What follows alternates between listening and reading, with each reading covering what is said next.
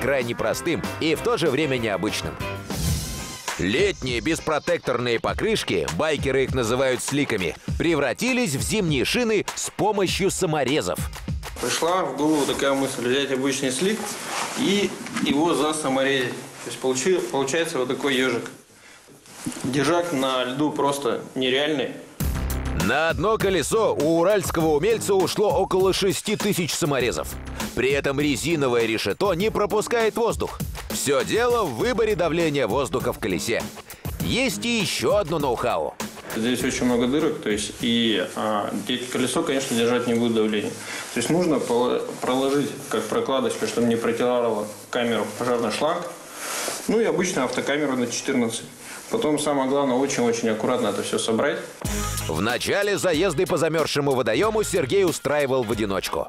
Но вскоре весть о чудо-покрышках разнеслась по всей округе. У изобретателя появились последователи. А потом мотоциклисты стали даже устраивать настоящие представления под названием «Спорт-байки на льду». Естественно, поучаствовать в ярком шоу захотелось и красивым девушкам. Ну какой же Дед Мороз без Снегурочки?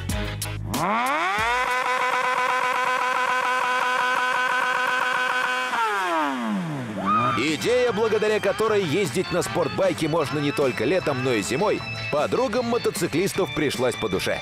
Несмотря на то, что нужно было бороться с холодом. Холодно? Меня греет любовь. Страшно? Не в первый раз. Не, ну тут все-таки э, с саморезами он так близко катался. Ездил. Правда? Я не заметила. Это было состояние эффекта. После показательных выступлений у Сергея заказов появилось хоть отбавляй. Так что на зиму ему пришлось запастись саморезами. Санкт-Петербург. Легковушка и КАМАЗ столкнулись